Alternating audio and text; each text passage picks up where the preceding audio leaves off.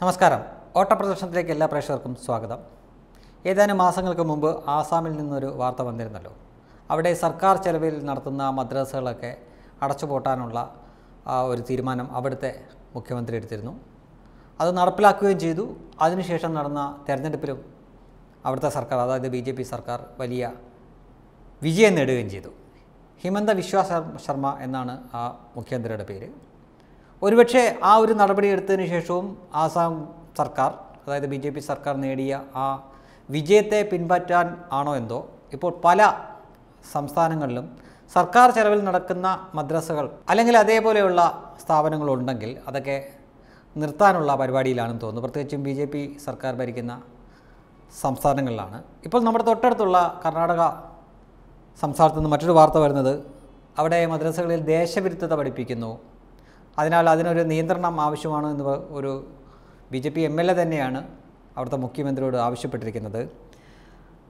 അദ്ദേഹം ആവശ്യപ്പെട്ടിരിക്കുന്ന രണ്ട് മൂന്ന് കാര്യങ്ങളുണ്ട്. അത് അദ്ദേഹത്തിന്റെ ഭാഗത്തു നിന്ന് നോക്കുമ്പോൾ ന്യായമാണ് താനും. ഒന്ന് പറയുന്നത് ദേശവിരുദ്ധത പഠിപ്പിക്കുന്നു ദേശസ്നേഹമല്ല അവിടെ പഠിപ്പിക്കുന്നതെന്നും ഹിജാബ് വിഷയത്തിൽ കോൺഗ്രസ് വോട്ട് ബാങ്ക് രാഷ്ട്രീയം കളിക്കുകയാണെന്നും ആ കൂട്ടത്തെ അദ്ദേഹം കുറ്റപ്പെടുത്തിയിട്ടുണ്ട്. ഇനി മദ്രസകൾക്ക് ഒരു പ്രവർത്തനാനുമതി കൊടുക്കണമെങ്കിൽ മറ്റു സ്കൂളുകൾ എന്താണ് പഠിപ്പിക്കുന്നത്? അതേപോലെ തന്നെ ഈ മദ്രസകളും ആ പാഠ്യ പദ്ധതികൾ പിന്തുടരണം എന്നാണ് ഇദ്ദേഹം പറയുന്നത്. ഒപ്പം ഈ ഭാരത് മാതാ കീ എന്ന മുദ്രാവാക്യം തെറ്റാണ് എന്ന് ചില മദ്രസകളിൽ പഠിപ്പിക്കുന്നു. അത് വിളിക്കാൻ പാടില്ല എന്ന തരത്തിൽ പഠിപ്പിക്കുന്നു.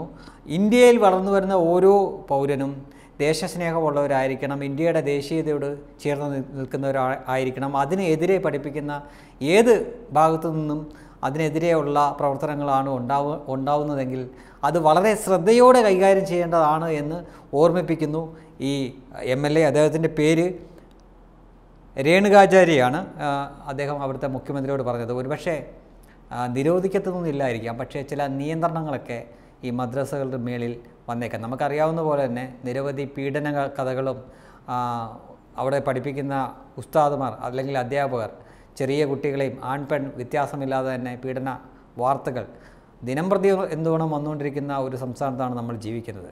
ചില സ്ഥലത്തെങ്കിലും ഇത് മോശമായ രീതിയിൽ ദുരുപയോഗം ചെയ്യുന്നുണ്ട് എന്നത് സത്യം തന്നെയാണ്. അപ്പോൾ മതം പഠിപ്പിക്കാൻ വേണ്ടിയിട്ട് ഇങ്ങനെ ചില സ്ഥാപനങ്ങളുള്ളപ്പോൾ അതിന് ജനങ്ങളുടെ പൊതുവായിട്ടുള്ള നികുതി പണം എടുത്ത് കൊടുക്കേണ്ട എന്ന് തീരുമാനിച്ചിട്ടാണ് ആസാം സർക്കാർ അങ്ങനെ ഒരു തീരുമാനം എടുത്തത്. കർണാടക എന്തായാലും ആ രീതിയിലല്ല നടപടിയെടുക്കാൻ പോകുന്നത് എന്ന് തോന്നുന്നു. ഒരുപക്ഷെ മദ്രസകളുടെ മേൽ ഒരു നിയന്ത്രണം വന്നേക്കാം. മറ്റ് സ്കൂളുകൾ ഏത് പാഠ്യപദ്ധതിയാണോ പഠിപ്പിക്കുന്നത് അത് അവരുടെ രീതിയിലനുസരിച്ച് മാറ്റി പഠിപ്പിക്കാൻ വേണ്ടി ഒരുപക്ഷെ ചില നിയന്ത്രണങ്ങൾ കൊണ്ടുവന്നേക്കാം. ഒപ്പം തന്നെ ഈ ഭാരത് മാതാ കീ ജയ് ഒക്കെ വിളിക്കുന്നത് അല്ലെങ്കിൽ അതേപോലുള്ള മുദ്രാവാക്യങ്ങൾ വിളിക്കുന്നത് തെറ്റാണെന്ന രീതിയിൽ ചെറിയ കുട്ടികളിൽ പഠിപ്പിക്കുമ്പോൾ തീർച്ചയായിട്ടും അത്തരം കാര്യങ്ങൾ കേട്ട് വളരുന്ന കുട്ടികൾക്ക് മുതിർന്നു വരുമ്പോൾ ദേശത്തിനോട് സ്വന്തം രാജ്യത്തിനോട് ഒരു സ്നേഹമോ ആത്മാഭിമാനമോ ഒന്നും തോന്നണമെന്നില്ല. അതൊക്കെ മാറുകയും എല്ലാവരും ഒറ്റക്കെട്ടായിട്ട് നിൽക്കേണ്ടത് ആവശ്യകതയൊക്കെ ഉള്ളതുകൊണ്ട് ഒരുപക്ഷെ ചില നിയന്ത്രണങ്ങളൊക്കെ ഈ ഇത്തരം സ്ഥാപനങ്ങൾക്ക് മേൽ വന്നേക്കാം. ഒരു രണ്ടായിരത്തി പതിനാല് പതിനഞ്ച് പതിനാറ് സമയത്തൊക്കെ ആയിരുന്നെങ്കിൽ ഇതിനെപ്പറ്റി ചിന്തിക്കാൻ പോലും ആർക്കും ആവില്ലായിരുന്നു. അപ്പോഴേക്കും ഇന്ത്യയിൽ അങ്ങോളം ഇങ്ങോളമുള്ള എല്ലാവരും കൂടെ ചാടി ഇറങ്ങി ഭയങ്കര ബഹളവും സമരവും ആയിരുന്നു. ഇപ്പോൾ എന്തായാലും ഇത്തരക്കാർക്ക് വലിയ രോദനമൊന്നുമില്ല കരച്ചിലൊന്നുമില്ല. ചെറിയ ഞെരങ്ങലും മൂളലും മാത്രമേ ഉള്ളൂ. കുറച്ച് വർഷമൂടെ കഴിയുമ്പോൾ പിന്നെ അതും കാണത്തില്ലായിരിക്കാം. ഒരു ബഹുസ്വരത സമൂഹത്തിൽ ജീവിക്കുമ്പോൾ എല്ലാവരെയുമായിട്ട് സമഭാവനയോട് കണ്ടു. പരസ്പരം വെറുപ്പോ വൈരാഗ്യമോ ഒന്നുമില്ലാതെ ഉള്ള മനുഷ്യജീവിതം എന്ന് പറഞ്ഞു കഴിഞ്ഞാൽ ഒരു ശരാശരിയൊക്കെ വെച്ച് നോക്കുമ്പോൾ നമുക്കെല്ലാവർക്കും അറിയാവുന്ന പോലെ എഴുപത് എൺപത് തൊണ്ണൂറ് വയസ്സ് നൂറ് വയസ്സ് വരെയൊക്കെ ജീവിച്ചിരിക്കുന്നവരുണ്ട്. അപ്പോൾ ഇത് കഴിഞ്ഞിട്ട് കിട്ടുന്ന സ്വർഗമാണ് അതാണ് ഇതാണെന്നുള്ളതല്ല ഇവിടെ ജീവിക്കുമ്പോൾ ഇത് സ്വർഗമാക്കി ജീവിക്കാനാണ് ശ്രമിക്കേണ്ടത്. നിർഭാഗ്യവശാൽ ചില ആളുകളെങ്കിലും അതെല്ലാ മതത്തിലും ഉണ്ട് ഒരു പ്രത്യേക മതത്തിൽ മാത്രമല്ല.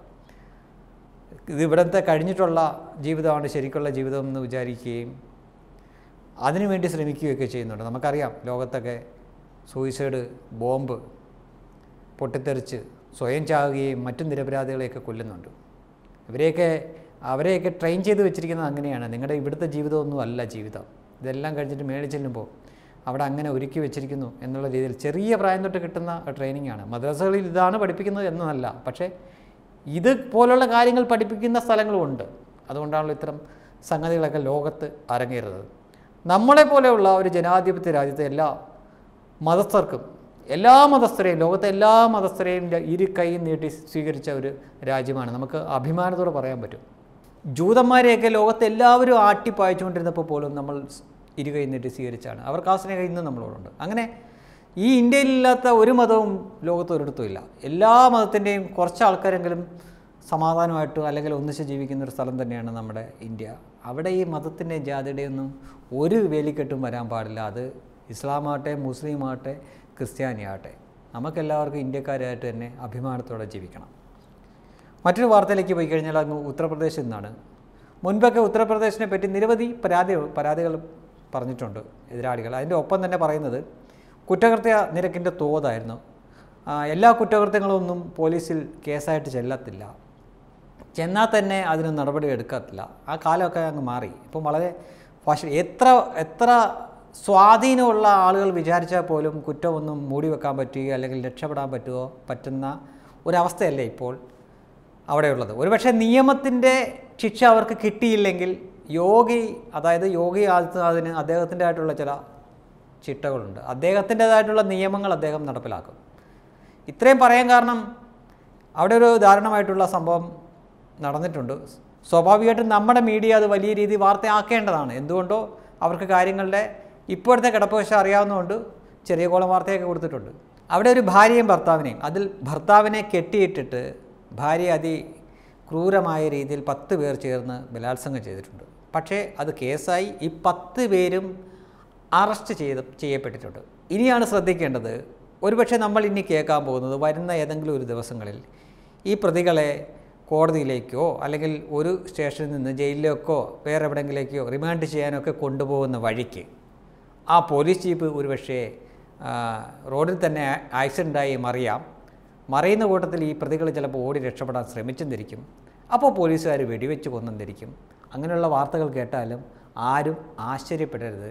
കാരണം ഇത്തരം കുറ്റവാളികൾക്ക് അവിടെ ഇതുപോലുള്ള ചില ചിട്ടകളൊക്കെയാണ് യോഗിയുടെ പോലീസ് വെച്ചിരിക്കുന്നത്. കാര്യം ഇങ്ങനെ ഒരു സംഭവം ഉണ്ടായി ഇങ്ങനെയുള്ള ഒരു ശിക്ഷയാണ് കിട്ടുന്നതെങ്കിൽ അത് മറ്റ് ക്രിമിനലുകൾക്ക് കൊടുക്കുന്ന ഒരു ഭീകര സന്ദേശമുണ്ട്. പിന്നെ അവന്റെ ജന്മത്ത് അവൻ ഇത്തരം കാര്യങ്ങൾ ചിന്തിക്കത്ത് പോലുമില്ല. എല്ലാം ഒന്നും നമ്മുടെ ഇന്ത്യയുടെ നിയമപ്രകാരം തന്നെ അതിൽ പറഞ്ഞിരിക്കുന്ന പ്രകാരം ഒന്നും ചെയ്യാൻ പറ്റത്തില്ല. അത് കേരളം പോലുള്ള സ്ഥലത്തെ പറ്റത്തുള്ളൂ. ഇവിടെ ഒരുപാട് നൂലാമാലകളുണ്ട്.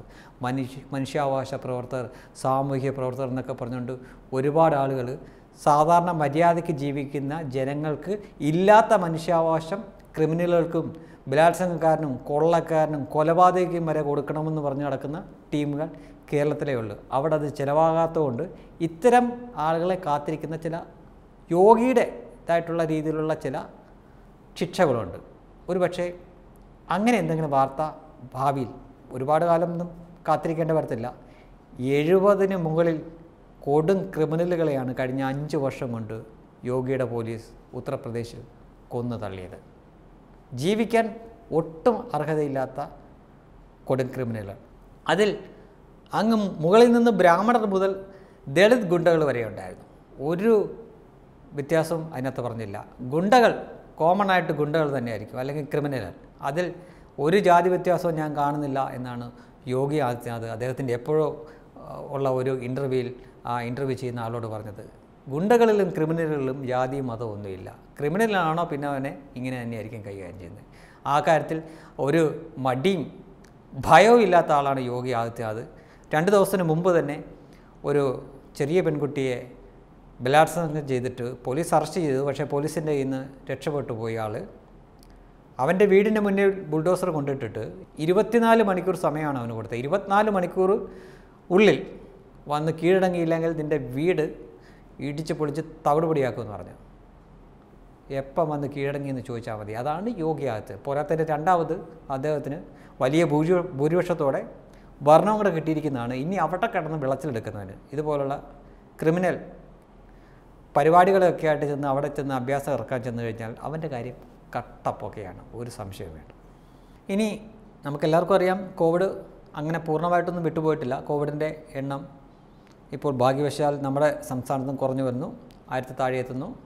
മരണനിരക്കും കുറയുന്നുണ്ട്. വലിയ താമസമില്ലാതെ തന്നെ നമുക്കെല്ലാം പൊതുവിടങ്ങളിലൂടെ മാസ്ക് ഇല്ലാതൊക്കെ നടക്കാൻ പറ്റും.